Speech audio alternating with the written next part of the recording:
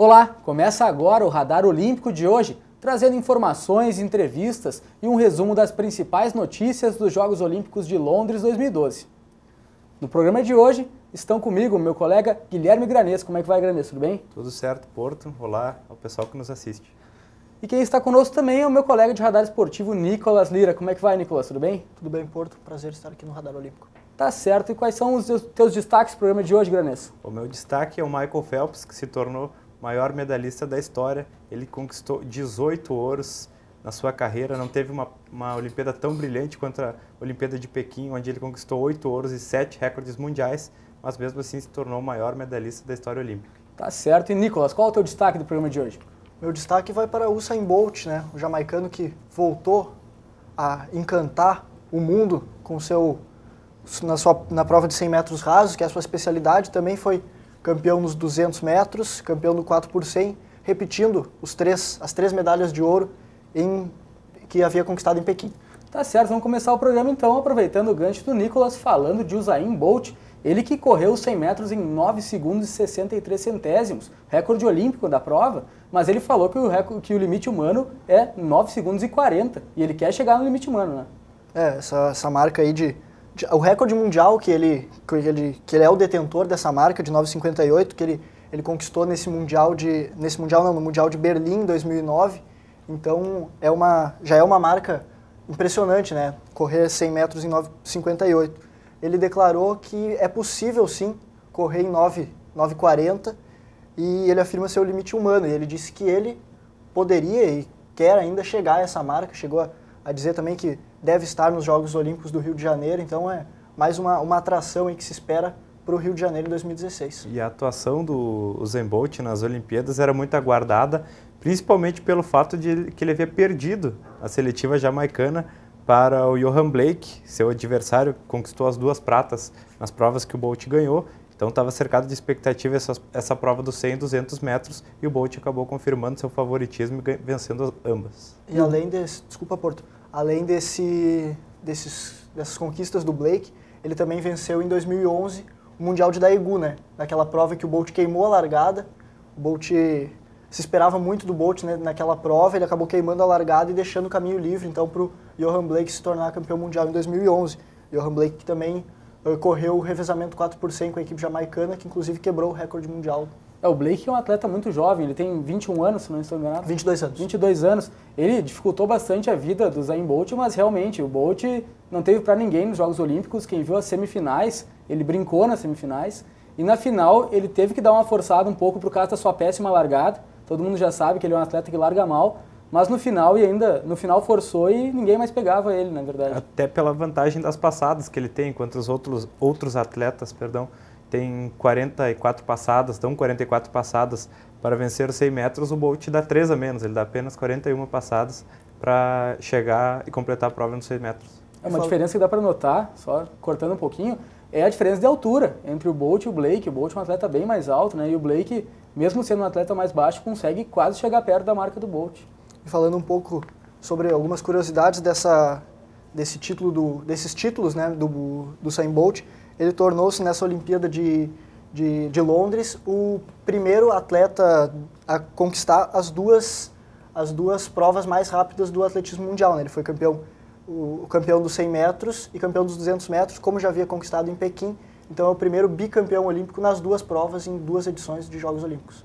A gente vê que ele é um atleta praticamente perfeito do atletismo quando ele corre na prova que não é a prova principal dele, que é o 200 metros, né? Que é uma prova que exige uma tática bem diferente, uma tática que tu não pode gastar toda a tua energia logo nos 100 primeiros metros, que é a questão dos 100 metros, e ele mesmo assim consegue se distanciar bastante dos outros competidores. E cabe um detalhe nessa equipe do revezamento 4 por 100 da Jamaica, que ela ficou desfalcada do Azafa Pablo, que acabou se machucando na final dos 100 metros rasos. E mesmo assim a Jamaica foi lá, bateu a equipe americana e quebrou o recorde mundial e conquistou o ouro mais uma vez. A Jamaica que veio nesse revezamento, então, como o Granês falou, desfalcada do Azafa Paulo e correu com Nesta Carter abrindo o revezamento, correu com o Michael Frater também, o Johan Blake foi o terceiro, entregou pro Usain Bolt, que é como tem a largada mais, mais deficiente desses quatro, então acaba fechando o revezamento até em função de já pegar o bastão em alta velocidade. Então, as passadas, como o Granês havia destacado, é fundamental também. É o Zayn Bolt que já confirmou a presença, né? Ele quer estar nos Jogos do Rio em 2016, então resta saber quem vai conseguir parar esse jamaicano, porque parece que não surge ninguém que pode ser tão rápido quanto ele. E ao contrário do Zayn Bolt, que vai estar em 2016, outro de grande destaque da Olimpíada, Michael Phelps, falou que provavelmente não vai estar nos Jogos do Rio. Né? Ele disse que está muito cansado, que exige muito treinamento dele, durante toda a carreira dele foi assim, e ele se disse um pouco cansado, então, que não quer participar das Olimpíadas do Rio, pelo menos por agora ele pensa assim. Michael Phelps, o grande atleta olímpico de todos os tempos, 18 ouros. É uma, é uma questão absurda, assim, algum, um atleta chega a ganhar um ouro na vida num jogo olímpico, já é um fato imenso, é um fato muito grande na carreira. O Michael Phelps tem 18 medalhas de ouro, 22 no total. É um absurdo, né? Apesar de que ele não parecia tão motivado assim quando apareceu em Pequim, quando os Estados Unidos recuperou aquela prova nos 4 por 100, ele vibrava muito porque sabia que ali era a chance dele conquistar todos os ouros, fazer uma Olimpíada perfeita. Dessa vez, é, em Londres, ele já não se sentia tão motivado, assim, até pelo número de provas que disputou, pelo número de ouros. Ele havia ganho oito em Pequim, ganhou apenas é, dois em Londres. Mas outro detalhe também, esperava muito do seu compatriota, né, o Ryan Lott. É, muito se dizia que talvez o Ryan Lott tivesse a capacidade de fazer uma Olimpíada tão boa quanto o Michael Phelps fez em Pequim, mas não foi isso que aconteceu. O Ryan Lott não conquistou tantos ouros assim quanto se imaginava. Um dos destaques desse começo, digamos assim, para baixo do Michael Phelps foi até a prova dos 400 medley, que o Thiago Pereira acabou ficando com a prata. Ele ficou em quarto lugar e era uma prova que ele até tinha uma certa tradição já de ganhar ouro nos Jogos Olímpicos, acabou nem aparecendo no pódio. Pois é, o Michael Phelps então aí é, talvez seja o um fim de um ciclo de um grande campeão olímpico ele que acaba não vindo para as Olimpíadas do Rio em 2016. Esse ciclo aí que o Granes falou, só para trazer um pouco sobre a trajetória do, do Michael Phelps em Jogos Olímpicos, começou em 2000 em Sydney, na qual ele ficou disputou apenas uma prova, muito jovem ainda, foi quinto colocado no, nos 200 borboleta e a partir dessa Olimpíada, a partir então de Atenas, se tornou, começou a se tornar, né, o grande mito Michael Phelps, maior campeão olímpico e maior medalhista olímpico da história. É saber se na natação vai surgir alguém com a capacidade do Phelps. A natação que vive um momento de transição, na verdade, com quando foram abolidos os trajes, né? Os trajes de alta tecnologia, agora resta saber se vai surgir um nadador com tanta potência quanto o Michael Phelps. O Brasil talvez possa surgir com alguns, com alguns talentos aí, né? E, então vamos esperar. Antes de falarmos então do próximo destaque aqui do Radar Olímpico, vamos curtir a reportagem sobre o boxe feita pela equipe da TV Campos. O boxe olímpico é uma modalidade esportiva que muito recentemente vem colhendo frutos em âmbito nacional. Embora o Brasil tenha colocado alguns nomes importantes no mundo do boxe profissional, como Maguila e Popó, o boxe olímpico amador teve seu ascenso tardio e finalmente se consolida no país. Em Santa Maria, a afirmação do esporte também é bastante recente. A atual geração do boxe santamariense foi a primeira a conseguir medalhas de bronze e de prata nas competições nacionais da modalidade. O objetivo é a chegada ao primeiro lugar do pódio nos próximos anos, com o horizonte, é claro, nas Olimpíadas de 2016.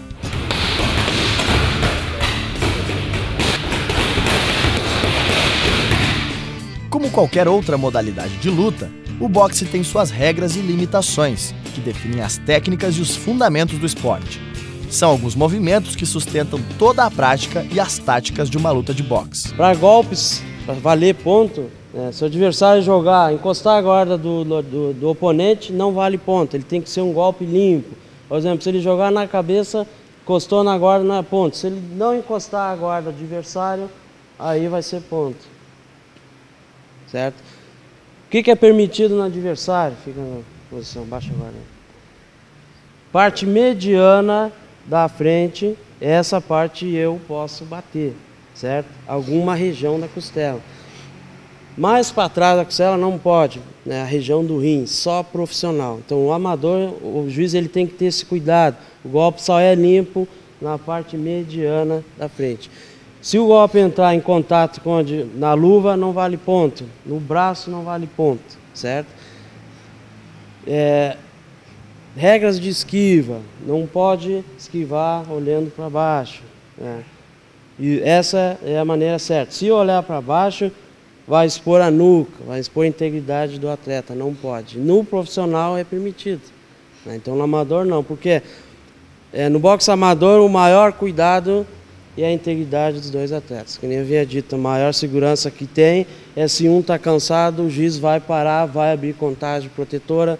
Se ele não expor que descansou nesse tempo, a luta está acabada. Então hoje em dia o boxe olímpico se torna um esporte mais seguro, até mesmo que futebol, né? Por mais que seja de troca, é, é, é um esporte seguro. É, então vamos explicar basicamente os fundamentos, os principais tipos de, de, de, enfrentamento, de golpe, não sei qual a terminologia correta, seria o golpe? Golpes. Então, fica na posição. Sempre ao iniciar o golpe, para ter uma boa postura e analisar o adversário, vocês vão começar com jab. Né? O jab vai partir sempre o pé que está à frente. Esse jab vai servir para marcar a distância, bagunçar a guarda do adversário, marcar ponto ou, dependendo do atleta, atletas se especializam, ele pode até nocautear com um simples golpe, um jab, certo? E esse jab ele vai ser seguido de um direto, se conseguir marcar a distância, ele vai entrar com direto, tanto na cabeça quanto no, na região do plexo, né, no peito, que é um alvo. Se não, não avisar derrubar, fazer knockdown, está fazendo ponto, desde que entre naquela regra, não toque na guarda adversária. Então o jab ele vai servir para marcar a distância entrar com direto, o jab vai servir para marcar a distância entrar com cruzado, vai servir para marcar a distância entrar com gancho e vai servir também para entrar com swing, que esses são os golpes principais do boxe. Pode se jogar dois jab, nesses dois jab ele pode, no segundo jab ele já vai entrar a curta distância do adversário e fazer combinações. Né? Então esses golpes são os fundamentais do boxe. Existe também o jab para saída, entrada de jab, saída lateral, contra-golpe com direto, certo? Esses são os principais objetivos e os principais golpes. Se não conseguir fazer essa marcação, vai ser difícil, porque não tem como tu entrar na guarda adversária usando golpes curvo, que é cruzado, né, golpes abertos. Então aí se fizer, isso aí já vai se expor, porque o adversário pode entrar já com direto, ó, certo? Então o jab é fundamental Outra técnica bastante interessante é a técnica da guarda, né? Existe alguma técnica específica? É, a guarda, quando eu falo para eles, não é 100% segura. Então, fica na guarda, de frente para o pavão. A guarda tem que ter aquele reflexo. O boxe também exige muito raciocínio, muita velocidade. Se ele tiver, o adversário estiver cansado, né, o oponente chegar, faz a combinação na guarda, ele tem milésimo segundo para raciocinar e sair. Por quê? Porque os primeiros golpes ele vai bloquear, mas o segundo, terceiro, o adversário vai acertar costela, plexo, um gancho, vai furar a guarda. Então a guarda não é fechar, deixa o teto bater, que nem fazer a rock balboa. Não, uhum. certo?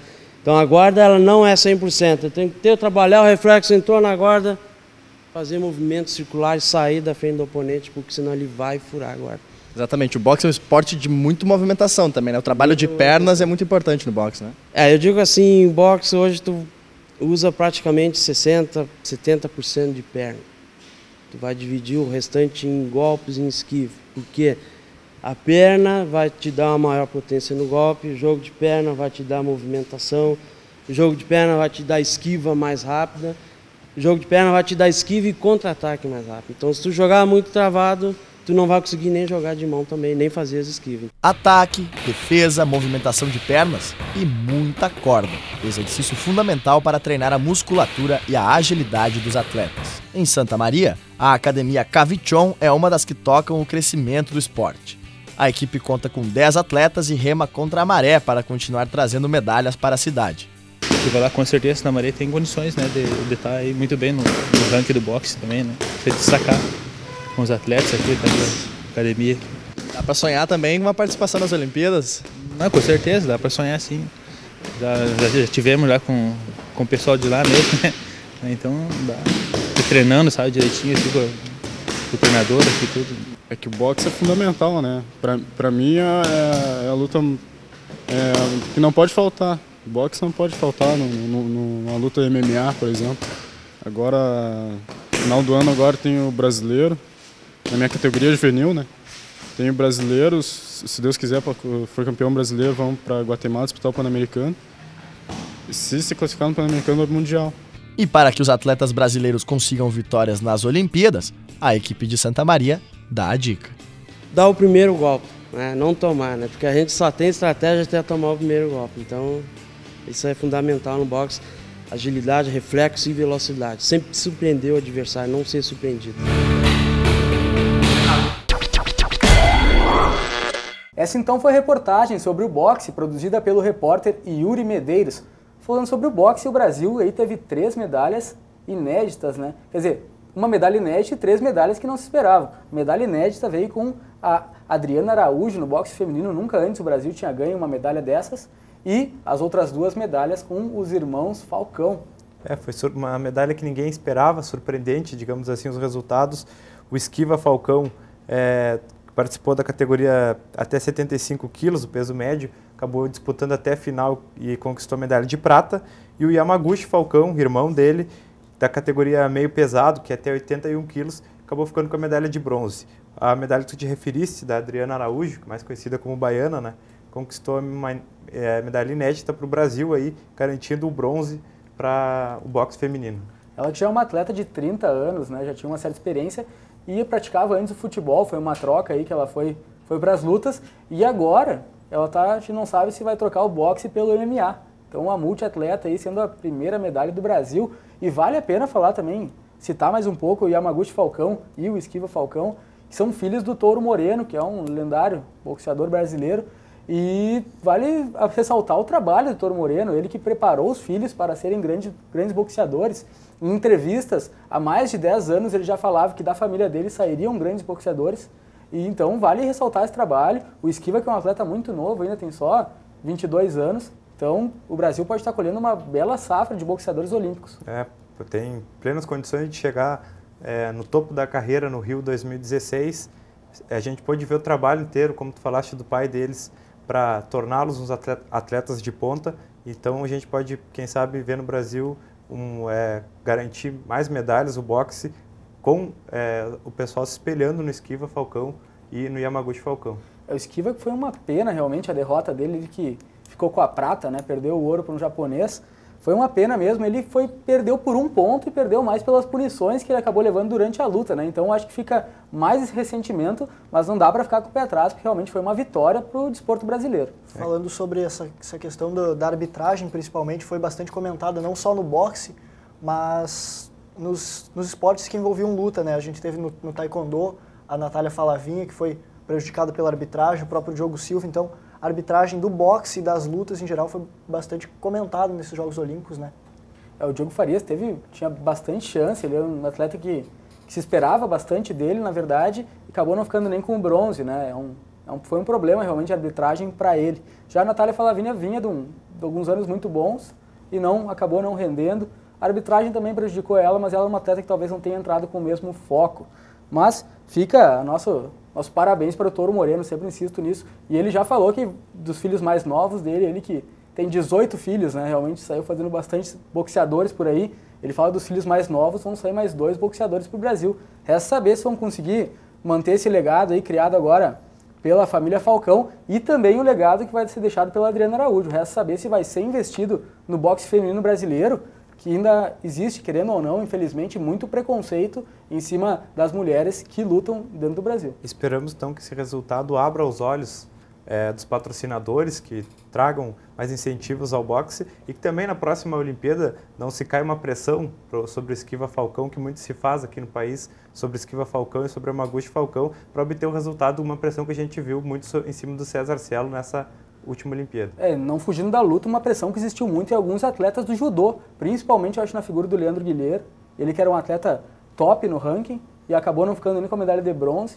Ele sofreu muito essa pressão de sempre falando que ele seria um medalhista olímpico, acabou não conseguindo. O judô depende muito daquela questão de estar num dia bom ou não, porque as lutas são todas no mesmo dia, acabou não conseguindo medalha e veio e foi fortemente criticado por alguns, na verdade. Né? É, também caiu é, sobre a figura da Mayra Guiar, gaúcha, que atleta lá de Porto Alegre, que acabou conquistando, foi um pouco amenizada, digamos assim, já que ela trouxe ainda uma medalha de prata. É, ela é atleta do Grêmio Náutico União. Exatamente. Então, eu queria agradecer a tua participação aqui no Radar Olímpico de hoje, Granesso. Muito obrigado. Obrigado, Porto. Obrigado, prazer estar aqui no Radar Olímpico. Também queria agradecer a tua participação, Nicolas. Obrigado. Obrigado, Porto. Prazer. Tá certo. Radar Olímpico de hoje fica por aqui. Não deixe de curtir o nosso site, onde você encontra outras informações, entrevistas sobre os Jogos Olímpicos de Londres 2012. Não deixe de conferir também o nosso canal no YouTube, onde você pode ver outros vídeos do Radar Olímpico. Até mais!